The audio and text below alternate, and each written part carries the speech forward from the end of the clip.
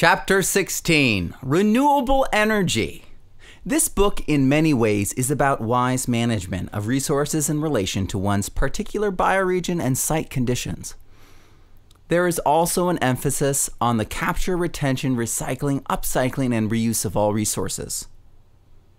In the case of energy, all these things apply, but there's an additional layer to consider our urgent need to stop using fossil fuels and shrink our energy consumption for the sake of all life on Earth. If we go back in time, we can see that for most of human history, we have actually been working on different ways to harness the sun's energy stored in the wood we charred, in the fossil fuels we burned, in plants we grew, in the foods we ate, and in innumerable other ways. Fossil fuels, too, are ancient sources of captured solar energy that formed from ancient deposits of decomposed matter. The last 50 to 60 years have seen the greatest acceleration of carbon dioxide released into the atmosphere, and this period coincides with the rise of consumerism in the late 1950s. Fashion and fad, rather than need, drove demand, and these consumer avenues were driven by novelties such as television programming and omnipresent advertising.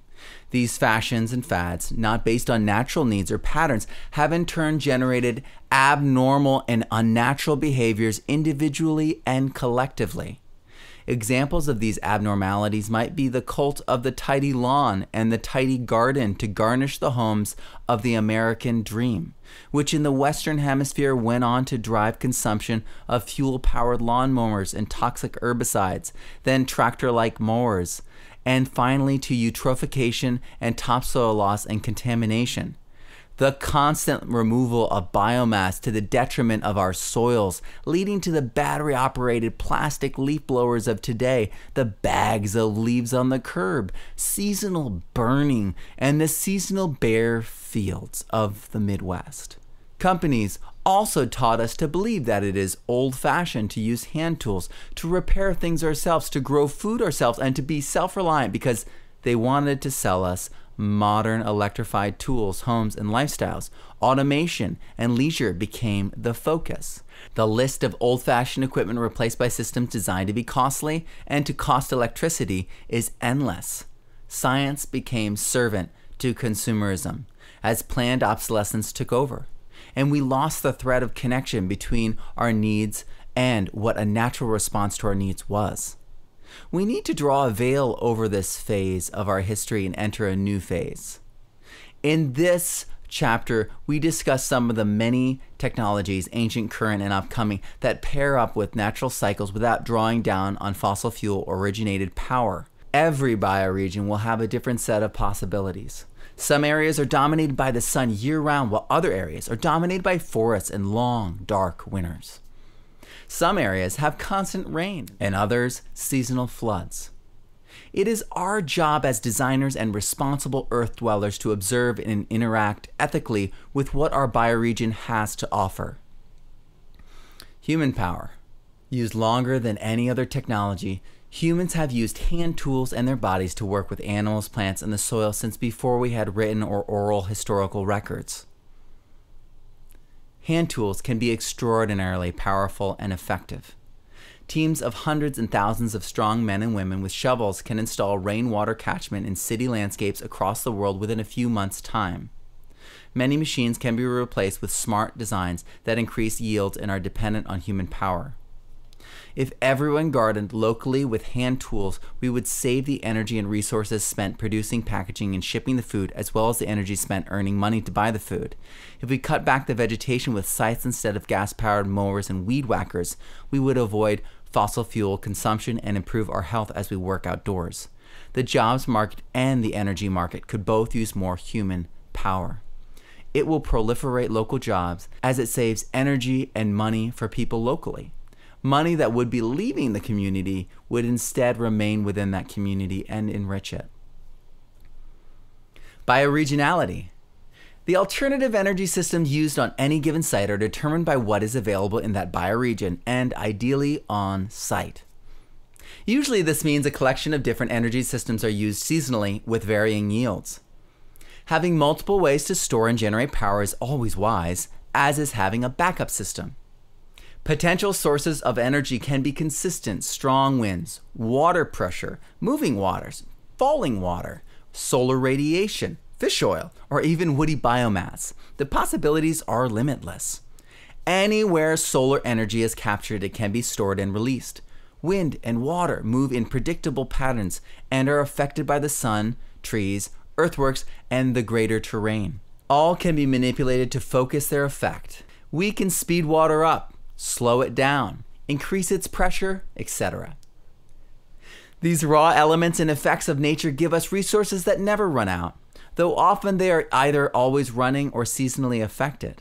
We have to recognize what energies we can capture where we are currently or orient ourselves to where those energies are.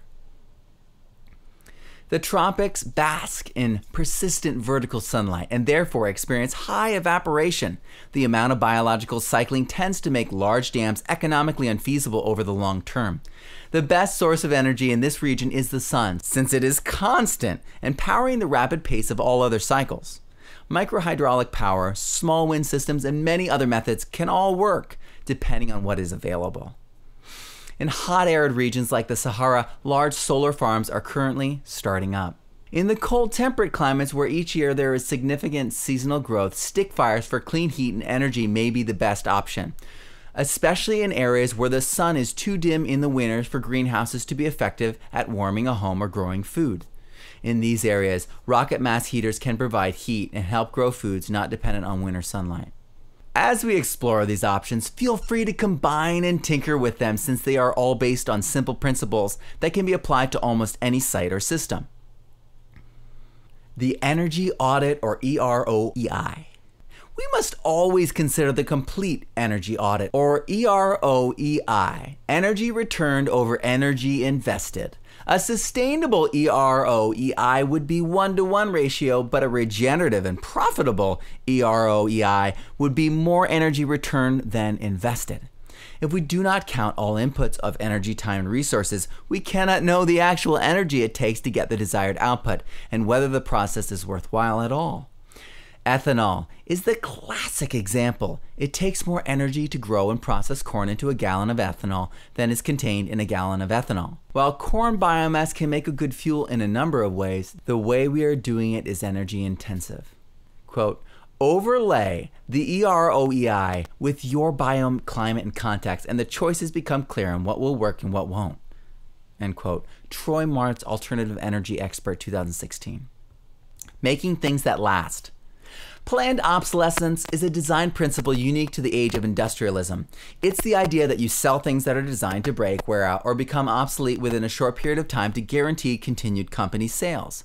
This can be seen throughout consumer culture today, as is the case of constantly updated iPhones. This all came about because of the indestructible suitcase that was actually indestructible. That's how it was advertised and sold. The company very quickly realized they were going to put themselves out of business once everyone had purchased their new suitcase. So they changed the design so the handle unraveled after a few years. The idea being the suitcase was still indestructible, but the handle was not. This trend has led to lower quality consumer products and incredible amounts of waste. Luckily, we can make things that last generations and in the end, ideally compost or at least recycle them. The following sections have several examples of long lasting technologies, even generational ones. The Edison iron nickel battery. Thomas Edison's iron nickel battery, invented in 1901, can last 25 years or more. Some batteries have even lasted generations.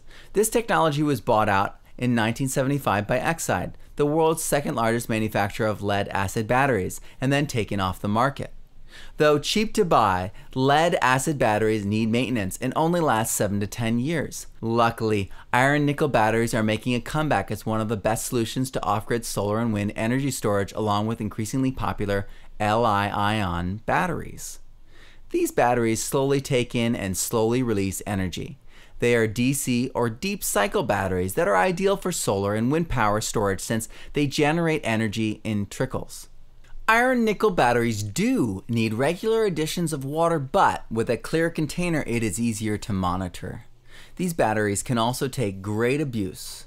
pay for themselves over time and improve over time. Companies like Iron Edison are currently selling these batteries as well as sealed lithium ion batteries, which are projected to last even longer with no maintenance needed, similar to the now popular Li ion batteries, which come with up to 20 year warranties. Lights that last. There was a time when light bulb filaments were made by hand, and because of this, they varied in quality, with some lasting decades. The Livermore Centennial light bulb of Fire Station 6 of Livermore, California, has been shining for over 114 years, over a million hours. The light bulb's filament operates at a very low wattage, is complex, and has been continuously on, all of which contribute to its longevity.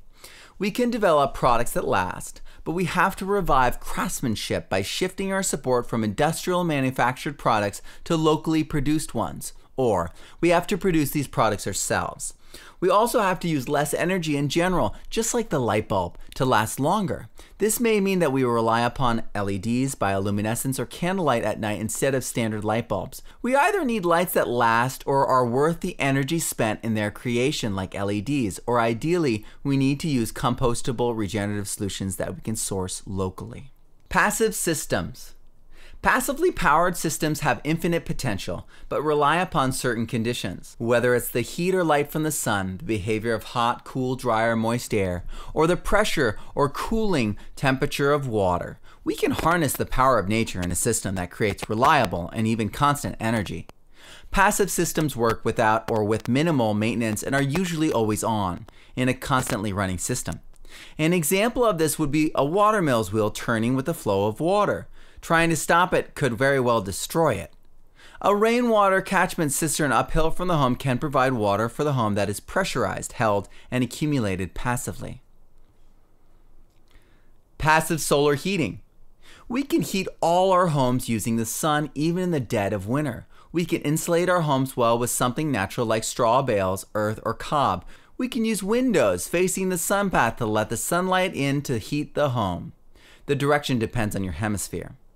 Greenhouses or even just thermosiphons designed to make hot air can be used as well. Heat rises, so any way that a designer can sink heat below the home allows this heat to slowly rise and warm everything through conduction and then through radiation as the objects in the home release that heat. This can be done with solar collectors that heat up rods that connect to the metal running below or inside the foundation or it can be done by having a concrete pad that connects the greenhouse to the house. There is limitless room for innovation in passive solar heating. Passive cooling.